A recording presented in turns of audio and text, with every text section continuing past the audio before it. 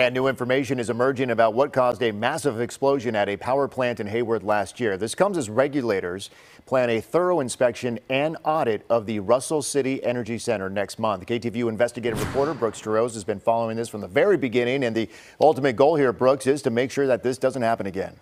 Well, Mike, just imagine shrapnel heavy metal propelled hundreds of feet away, some pieces weighing over 50 pounds. Now, no one was hurt, but regulators are now focusing on the operations that set the stage for this incident to occur. Last May, a steam turbine at the Russell City Energy Center in Hayward exploded and there was a large fire.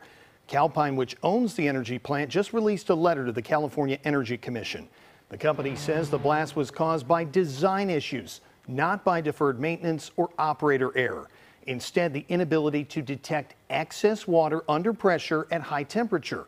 The plant was pulled from service for several months and restarted in a lower power mode to feed the grid last fall. It's now undergoing repairs to get it fully operational as soon as this summer.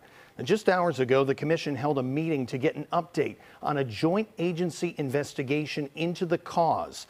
There have been a dozen witness interviews, nine on-site inspections, and several commissioner tours.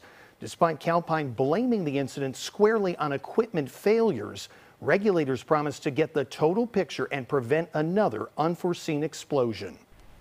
I know I speak on behalf of all the commissioners that we were just appalled and um, about the situation and you know no lives were lost but they could have been. We recognize that.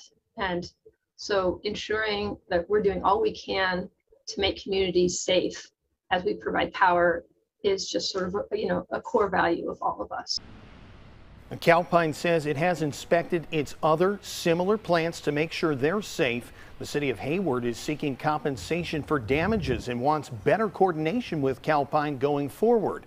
Calpine says it acknowledges community concerns and the need to take action.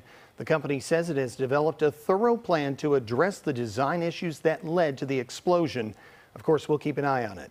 Brooks Jarosz, KTVU Fox 2 News. Keeping the company accountable, all right, Brooks? Right. Thank you.